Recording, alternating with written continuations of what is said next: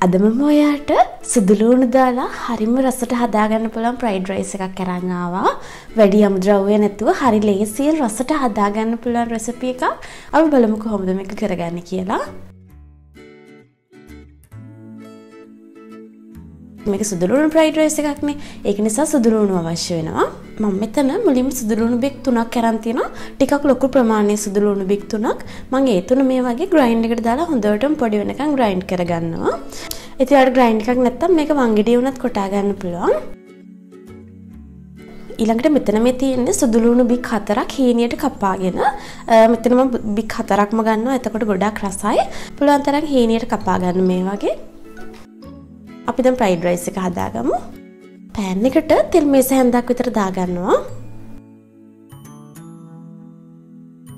තෙල් එක වාගෙට රත් වෙද්දි මම අර කපාගත්ත සුදුලුණු ටික මේකට දාගන්නවා. ඒක දාලා ඉවර වෙලා හොඳට මේක තෙල් එකේ පොඩ්ඩක් බෙදෙන්න දෙන්න. මතක තියාගන්න ගින්දර වැඩි කරගන්න එපා. ගින්දර සාමාන්‍ය මට්ටමේ තියාගන්න. ගින්දර ගොඩාක් වැඩි කරගත්තොත් එහෙම සුදුලුණු එක එකපාරටම පිච්චෙන්න බලයි. ඊළඟට මේකටම මම අර ග්‍රයින්ඩ් කරගත්ත සුදුලුණු ටිකක් දාගන්නවා. දැන් මේ ටික දාලා ඉවර වෙලා හොඳට මේ වගේ කලවම් කරගන්න.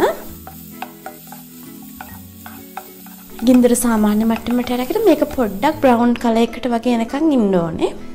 සුදුලුණු ටික ඔක්කොම මේ වගේ ලයිට් බ්‍රවුන් එකට හැරුණාට පස්සේ මම මේකට කෑලි මිරිස් වලින් තේ හැන්දක් දාගන්නවා හොඳට පුරවලා. ස්පයිසි විදිහට කන්න කැමති අය තව ටිකක් වැඩිපුර දාගන්න. සුදුලුණු ගොඩාක් බ්‍රවුන් වෙනකන් ඉන්නේ. ලා බ්‍රවුන් එකට හැරෙනකොටම තමයි අපි මේ වැඩේ කරගන්නේ. මොකද එහෙම නැත්නම් එහෙම සුදුලුණු එක පිච්චෙන්න බලනවා. ඊළඟට මේකට මම සෝයි සෝස් වලින් මේස හැන්ද දෙකක් දාගන්නවා. සෝයි සෝස් එක දාලා ඒකත් පොඩ්ඩක් තෙල් එකේ බැදෙන්න දෙනවා. දැන් මම ටක් ගාලා මේකට බත් කෝප්පයක් දාගන්නවා. මම මේ ඇත්තටම දාගන්නේ කලින් උයලා මට ෆ්‍රිජ් එකේ තිබ්බ බත් ටිකක්. බත් ගොඩාක් දාගන්නේ නැහැ. කෝප්පයක් විතර වගේ තමයි දාගන්නේ. ඉතින් බත් ගොඩාක් මේකට වැඩි කරගන්න එපා. එහෙම වුණොත් එහෙම රස අඩු වෙයි. බත් ප්‍රමාණය අඩු කරගන්න. එතකොට තමයි මේක ගොඩාක් රස. එහෙම නැත්නම් ඔයා ගන්න මේ අමුද්‍රව්‍ය ප්‍රමාණය වැඩි කරගන්න. බත් එක දාලා හොඳින් කලවම් කරන්න. මම වට කලිනුත් කියලා තියෙනවා සාමාන්‍ය ෆ්‍රයිඩ් රයිස් එකක් වගේ හදනවා නම් කලින් දවස් ඉතුරු වෙච්ච බත් හරි එහෙම නැත්නම් අලුතින් උයනවා නම් බත් එක ඒක පොඩ්ඩක් ෆ්‍රිජ් එකේ දාලා හරි ගන්න කියලා. එතකොට හරිම රසට බත් එක එනවා. හරි ක්වොලිටි එකට ෆ්‍රයිඩ් රයිස් එකක් එනවා. පරණ බත් වලින් මේ ෆ්‍රයිඩ් රයිස් එක හැදුවාම දැන් මම මේකට ලුණු දාගන්නවා. ඔය ලුණු අවශ්‍ය ප්‍රමාණය බලලා මේකට ලුණු දාගන්න. ඔයාලට මට කියන්න ඕනේ ඔයාලට මේකට කැමති බත් වර්ගයක් ගන්න පුළුවන් මම බාස්මති බත් ගත්තේ. ඔයාලට ඒ වුණාට මේකට සම්බා, කීරි සම්බා කැමති දේක් පාවිච්චි කරන්න පුළුවන්. මේක හොඳට පොඩ්ඩක් තෙල් එකේ බෙදෙන්න දෙන්න ඕනේ. තෙල් එකේ බෙදෙන අතරේ මේකේ අඩුපාඩු බලලා තව දාගන්න පුළුවන්. මගේ එකට සොය සෝස් ටිකක් මදි වගේ මම ඒක නිසා තව සොය සෝස් ටිකක් මේකට එකතු කරගන්නවා. අන්තිමට මම මේකට බටර් තේ හැන්දක් දාගන්නවා. ඔයාලට බටර් වෙනුවට මාජරින් හරි එහෙම නැත්නම් ගිතෙල් උනත් දාගන්න පුළුවන්. ඉතින් බටර් ටිකක් දාගත්තාම මෙන්න හයම රසයි මේක. බටර් නැති වුණත් ප්‍රශ්නයක් නැහැ. දැන් ඔන්න බත් එක ගානට තියෙනවා. දැන් මම මේක අයින් කරගන්නවා.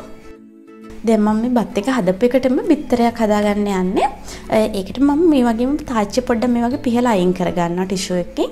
ඊට පස්සේ තෙල් ටිකක් දාලා මේකට බිත්තරයක් දාගන්නවා. මම කැමති බිත්තරේ half boil විදියට කන්න. ඒක නිසා මම මේක ගොඩක් වෙලා බෙදෙන්න දෙන්නේ නැහැ. ටක් ගාලා අයින් කරගන්නවා. ඔයාලට මේකට ගම්මිරිස් කැලි කැලිමිරිස් කැමති දෙයක් දාගන්න පුළුවන්. දැන් මේ තියෙන මම හදාගත්ත බත් එක අද මම මේ බත් එක කන්න බේකන් දෙකකුත් බෙදගත්තා. ඉතින් මම ඔයාලට කියන්න ඕනේ මේ බත් එක කන්න වෙන මොකුත් ඕනේ නැහැ. බිත්තරයක් විතරක් තිබ්බත් ප්‍රමාණවත් හරිම රසයි. ඔයාලට කැමති නම් තව chili paste එකක් වගේ මේකට එකතු කරගන්න පුළුවන්. මේ වගේ half boil බිත්තරයකුත් එක්ක මේ බත් එක හරිම රසයි. try කරලා බලන්න. පෝෂණය අතිනුත් ගොඩක් ඉහළයි. හරි ලේසියෙන් හදාගන්න පුළුවන් විනාඩි 5ක වගේ පොඩි කාලයක් ඇතුළත. ඉතින් මම හිතනවා මේ රෙසිපි එකටත් ගොඩක් කැමති වෙන්න ඇති කියලා. ඔයා මේකට කැමති නම් අනිවාර්යෙන් like එකක් දාන්න, comment එකක් දාන්න. ඒ වගේම මම subscribe කරේ නැත්නම් subscribe කරන්න තමතක කරන්න එපා. මේ වගේ ලේසි රෙසිපි එකක් කරගෙන මම ඔයාලව හම්බෙන්න ආයෙත් එන්නම්. ඔයාලට සුබ දවසක්.